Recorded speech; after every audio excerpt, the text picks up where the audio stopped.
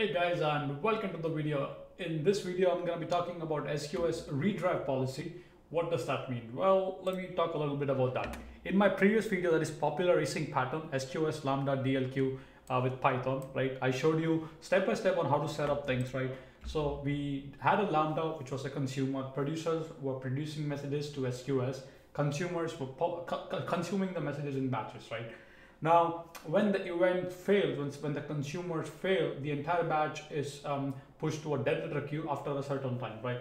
Now, the, the redrive policy allows you to essentially put those failed messages back to the source queue so that they could, the consumers can again try this out. I'm gonna show you in this video. So let's learn about that, okay?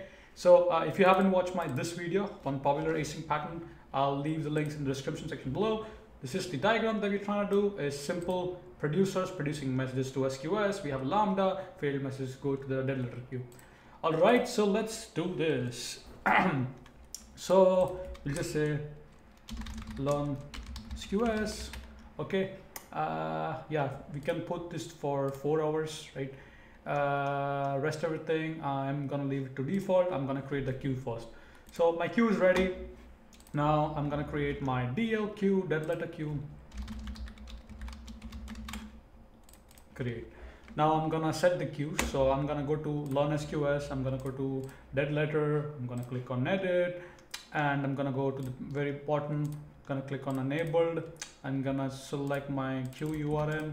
Gonna select for one times and that's pretty much it.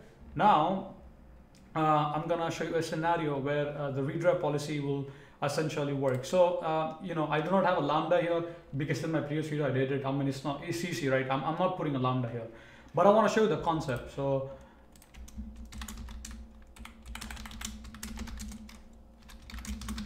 so I'm, I'm gonna publish a message called born to fail. Okay, so we'll, we'll publish a message. So as you can see, the message is published, right? So as you can see now, if I refresh my screen, it should be there, one message available. I'm gonna poll, so which means I'm manually polling it, which means the consumers are polling it and say it's gonna fail. Since we do not have a trigger, definitely there's no consumers, it's gonna fail. So it's, it, it's gonna drive the message back to the dead letter queue. And then I'm gonna be showing you the redrive policy, okay? So let's wait. So there you go, one we have one messages. So now going back to the queue, refreshing. Since again, now you can see one message again in flight. We'll again go to the queue, send receive messages, poll for messages. And after this, I'm pretty sure it would move the message to the dead letter queue at this point, okay? So let's wait. Couple of more minutes.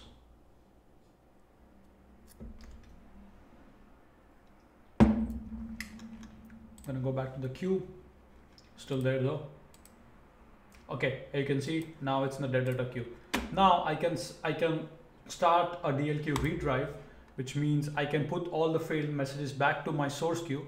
So redrive to the source queue or, or to a custom destination.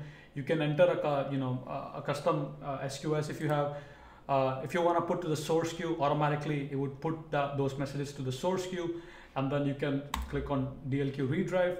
Now, if I, if I refresh, uh, remember it's still in the DLQ right now.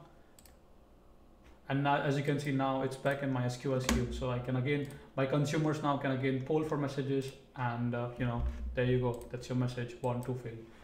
So hope you have enjoyed you know tutorials concept about uh, SQS dead letter uh, you know async patterns that you can use on Amazon Web Services.